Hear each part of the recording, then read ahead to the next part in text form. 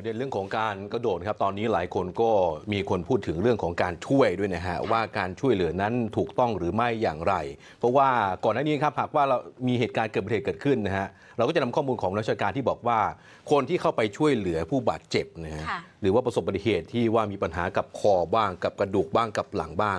ต้องมีวิธีการช่วยเหลือที่ถูกต้องด้วยนะครับ ค่ะสำหรับเรื่องนี้นะคะ การเคลื่อนย้ายร่างของพลตำรวจเอกสร่าง อืม ถูกวิพากษ์วิจารณ์เพราะว่าภาพที่ปรากฏออกมาผ่านทางสื่อสังคมออนไลน์ จะเห็นภาพในลักษณะที่ปฏิบัติงานโดยเจ้าหน้าที่รักษาความปลอดภัย ครับ หรือว่ารอปภของทางห้างสรรพสินค้าที่เกิดเหตุเนี่ยนะคะ แล้วก็มีการใช้ผ้าคลุมสีดำแล้วก็นำร่างขึ้นมาเนี่ยค่ะ เพื่อที่จะนำส่งไปยังรถกระบะ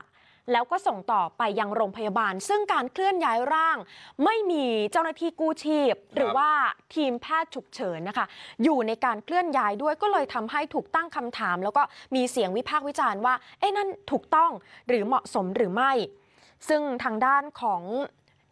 ผู้เชี่ยวชาญหรือว่าผู้เกี่ยวข้องนะคะ ก็ได้ออกมาชี้แจงถึงกรณีที่เกิดขึ้นเหมือนกัน แล้วก็ทางด้านของรองผู้กำกับการสถานีตำรวจภูธรปากเกร็ดก็ออกมาชี้แจง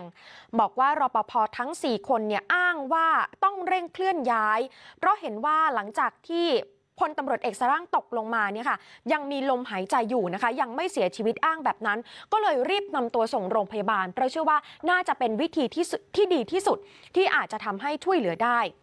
ส่วนทางด้านของนายแพทย์สุระเจตวาทีค่ะ เป็นแพทย์เวชศาสตร์ฉุกเฉินก็ออกมาแสดงความเห็นผ่านทาง Facebook นะคะบอกว่าตามหลักการการช่วยเหลือแล้วเนี่ยประเมินสถานการณ์อย่างแรกเลยคือ ยังมีชีวิตอยู่หรือไม่ หรือว่าน่าจะเสียชีวิตต้องมีการประเมินกัน ซึ่งเรื่องนี้เนี่ยทางฝั่งของห้างสรรพสินค้า ก็มีการชี้แจงมาภายหลังนะคะ บอกว่าประเมินแล้วเนี่ยคิดว่าน่าจะยังพอช่วยชีวิตได้ครับก็เลยต้องมีการเร่งเคลื่อนย้ายออกมาจากจุดเกิดเหตุค่ะอ้างแบบนั้นค่ะอะยิ่งถ้าเกิดว่าไปพบเห็นว่ายังมีการหายใจอยู่นะฮะค่ะคือเจ้าหน้าที่ที่ว่าเขามีการเรียนรู้มาเนี่ยก็จะมีอุปกรณ์ที่เกี่ยวข้องในการที่จะมาบล็อกคออค่ะไม่ให้คอขยับขยื่นค่ะเพราะว่าผู้เชี่ยวชาญนะครับบอกว่าถ้าเกิดว่ามีการขยับขยื่นเมื่อไหร่ ซึ่งณขณะที่ทางด้านของ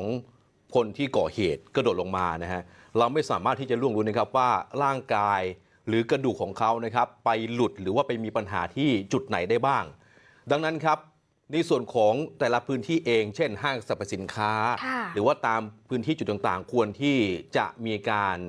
ฝึกสอนอบรมให้กับผู้ที่เกี่ยวข้องเช่นรปภหรือไม่อย่างไรนะฮะเพราะว่าอย่างทางด้านของหน่วยกู้ภัยเองเนี่ย เขามีการเรียนรู้เป็นประจำอยู่แล้ว ถ้าเกิดว่าพอไปถึงในพื้นที่นะครับก็จะมีพิธีการตามขั้นตอนต่างๆ อย่างที่ถูกต้องตามหลักของทางการแพทย์เพื่อที่จะ ไม่ให้ไปกระทบกระเทือนกับร่างกายนะครับค่ะทางด้านของแพทย์ของสถาบันการแพทย์ฉุกเฉินก็ออกมาบอกว่าวิธีการที่ถูกต้องแล้วเนี่ยนะคะ คือเจ้าหน้าที่รักษาความปลอดภัย หรือว่าผู้ที่อยู่ในเหตุการณ์ครับก็ตามแต่ อาจจะเป็นกรณีอื่น ๆ ต่อจากนี้เนี่ยนะคะอยากจะให้ตรวจสอบดูก่อนอย่างแรกค่ะว่ายังมีลมหายใจอยู่หรือไม่อืมแล้วไม่ควรจะเคลื่อนย้ายทันทีอืมให้รีบโทรศัพท์แจ้งไปยังผู้เชี่ยวชาญนะคะ หรือว่าทางแพทย์ของสถาบันการแพทย์ฉุกเฉินเนี่ยค่ะหมายเลข 1669ครับเพื่อให้ผู้เชี่ยวชาญเนี่ยเร่งเข้ามาในพื้นที่แล้วก็เข้ามาช่วยเหลือตรวจสอบนะคะ อย่างแรกเลยต้องมีการเรียกชื่อก่อน ว่ามีสติหรือไม่แล้วก็ห้ามเคลื่อนย้ายในทันทีต้องมีอุปกรณ์ที่เหมาะสมในการเคลื่อนย้าย อย่างที่คุณธีรเดชรายงานไปเมื่อสักครู่ครับค่ะ นอกเหนือไปจากเรื่องของการช่วยเหลือนะคะ จริงๆเช้าวันนี้อยากจะชวนคุยเรื่องของโรคซึมเศร้าด้วยค่ะเพราะว่าตามที่ครอบครัวระบุเนี่ยไปพบว่าพลตำรวจเอกสร่าง ท่านมีอาการป่วยอืมเป็นโรคซึมเศร้า และอยู่ระหว่างการรักษาตัวนะคะ คุณผู้ชม จริง ๆ แล้วถ้าเราจะไปดูข้อมูลจากกรมสุขภาพจิตที่มีการประเมินกันออกมา ระบุพบว่าในช่วงไม่กี่ปีที่ผ่านมานี้ค่ะสาเหตุหลัก ของการฆ่าตัวตาย โดยเฉพาะประชาชนตั้งแต่อายุ 15 ปีเรื่อยไปเลยนะคะ สาเหตุปัจจัยหลักๆ แล้วมักจะมาจากโรคซึมเศร้าอืม50%นะคะที่มีคนฆ่าตัวตายในปัจจุบันแล้วมาจากโรคซึมเศร้า ดังนั้นทางด้านกรมสุขภาพจิตก็เตือนคุณผู้ชมแล้วค่ะว่าอยากจะให้สังเกตคนใกล้ชิดครับถ้าเริ่มมีอาการผิดแปลกไปในเรื่องของสภาวะอารมณ์ คนที่เคยชอบอะไรมากอืมๆแล้วจู่ๆเกิดเปลี่ยนใจไม่ชอบกะทันหัน หรือมีสภาวะที่สภาพจิตใจอยู่ในห้วงที่ซึมเศร้าครับแบบนี้ต้องรีบเข้าไปช่วยเหลือพูดคุย วิธีการนอกจากสังเกตคนใกล้ชิดฮะจริง ๆ แล้วเขามีแบบประเมินแบบสอบถามของอืมกรมสุขภาพจิตให้เราประเมินเบื้องต้นอืมสามารถเข้าไปทำได้ search ในอินเทอร์เน็ตครับได้เลยือยนักข่าวก็พยายามที่จะถามญาติหรือว่าลูกชายค่ะของพลตำรวจเอกสล่างเหมือนกันนะครับ ว่าทางด้านของคุณพ่อเนี่ยได้เข้าไปรักษาอาการอะไรบ้างนะฮะซึ่งลูกชายเนี่ยก็ยอมรับนะครับว่า ก็เคยไปรักษาที่โรงพยาบาลตำรวจมาก่อนหน้านี้เหมือนกันค่ะสองสามปีฮะรับประทานยามาอย่างต่อเนื่องด้วย แล้วก่อนหน้านี้ก็ยังให้การนะฮะว่าก็เป็นโรคที่เกี่ยวข้องกับโรคซึมเศร้าอืมแต่ก็ไม่คิดว่าจะไปก่อเหตุว่าทุกทีเนี่ยก็จะมีคนเนี่ยติดตามไปด้วยค่ะวันนั้นวันที่ว่าเกิดเหตุเนี่ยฮะคือจังหวะที่คนที่ว่าติดตามไปด้วยเนี่ยเขาไม่ได้ไปเพราะว่ามีธุระที่อื่น ส่วนทางด้านของเพื่อนๆครับนรต รุ่นที่ 14 นะครับ ก็บอกว่าปกติแล้วเนี่ยพลตำรวจเอกสล่างครับเป็นคนที่ว่ามีความมุ่งมั่น เป็นคนที่รักษาบุคลิกมาก คือคิดจะทำอะไรก็ต้องทำให้สำเร็จนะฮะเคยพูดอยู่เหมือนกันว่าเปรยเปรยนะฮะหรือว่าไป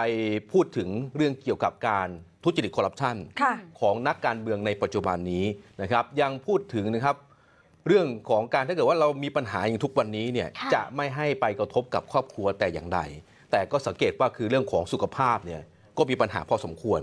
บางทีฮะลมแรงๆมาเนี่ยมาพัดตรงนั้นก็ไม่ไหวด้วยเหมือนกัน นี่คือว่าเพื่อนบอกมา นะครับทางด้านของพันตำรวจเอกกฤษณะพัฒนาเจริญนะคะ ท่านเป็นโฆรองโฆษกสำนักครังานบตำรวจแห่งชาติก็บอกว่าตอนนี้เนี่ยยังอยู่ในระหว่างของการนำศพนะคะไปชนสูตรพลิกศพ แล้วก็ต้องรอผลของการตรวจสอบเนี่ยค่ะให้แล้วเสร็จภายใน 30 วันฮะเพื่อนำมาประกอบสำนวนคดีนะคะ รองโฆษกบอกว่านี่เป็นสำนวนคดี เพราะถือว่าเป็นการตายผิดธรรมชาติครับแล้วก็เรื่องที่มีการวิพากษ์วิจารณ์กันเรื่องของการช่วยเหลือ หรือว่าการเคลื่อนย้ายร่างของผู้เสียชีวิตออกมาจากห้างสรรพสินค้าของรปภห้างสรรพสินค้าเนี่ยรองโฆษกสำนักงานตำรวจแห่งชาติบอกว่าก็ต้องมีการตรวจสอบกันต่อไปด้วยว่า วิธีการในการช่วยเหลือนั้นถูกต้อง แล้วพนักงานผ่านการอบรมตามพรบธุรกิจรักษาความปลอดภัยอย่างถูกต้องหรือไม่ครับ ส่วนประเด็นเรื่องของการที่ไม่เห็นด้วยในการที่จะมาฟ้าสร้างรางรถไฟรางคู่นะค่ะส่วนใหญ่แล้วเราก็จะไปเห็นนะครับมีการเผยแพร่ทางโลกออนไลน์ นะที่พลตำรวจเอกสล่างเนี่ยมีการนำไปเผยแพร่ก่อนหน้านี้ พูดถึงสื่อเหมือนกันนะครับว่าไม่ค่อยได้มีการนำเสนอประเด็น แต่ว่าหน่วยงานที่เกี่ยวข้องครับพูดถึงเรื่องของถนนออโตบานค่ะคือว่าต่างประเทศเนี่ยมีการสร้างก็จริงอย่างที่เยอรมนีนะฮะอืมแต่ว่าใช้งบประมาณสูงมาก ถามว่าเมืองไทยจะสร้างได้ไหม